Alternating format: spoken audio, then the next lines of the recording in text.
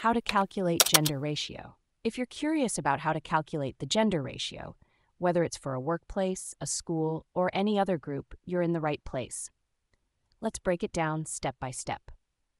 First, you need to know the number of females and males in the group. For example, if you're calculating the gender ratio in a company, you would count the number of female employees and the number of male employees. Once you have these numbers, you can use a simple formula to calculate the gender ratio. One common way to do this is to find the ratio of females to males. Here's how you can do it.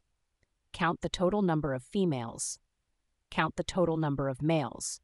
Divide the number of females by the number of males. For instance, if there are 30 female employees and 20 male employees, you would calculate the ratio as follows. Text gender ratio, frac number of females. Text number of males equals frac 3020 equals 1.5.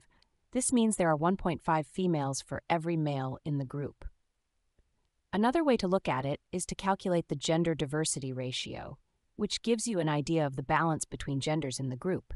Here you add the number of females and males, then divide by the total number of employees. Using the same example, number of females F equals 30, number of males M equals 20 minus total number of employees T equals 50. The formula for the gender diversity ratio is R equals frac F plus MT equals frac 30 plus 20, 50 equals 1.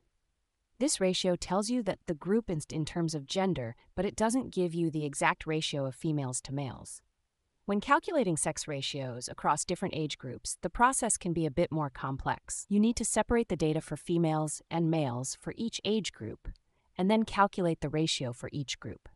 For example, if you're looking at the population of a country, you might find that there are more male infants than female infants, but more females than males in older age groups. To calculate the sex ratio for a specific age group, you divide the number of females by the number of males for that age group.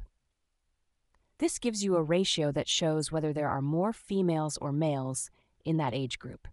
For example, if there are 96 girls for every 100 boys in a certain age group, the ratio would be text sex ratio number of females equals frac 966 100 equals 0.96. This means there are fewer girls than boys in that age group. By following these steps, you can accurately calculate the gender ratio and gain a better understanding of the gender balance within any group.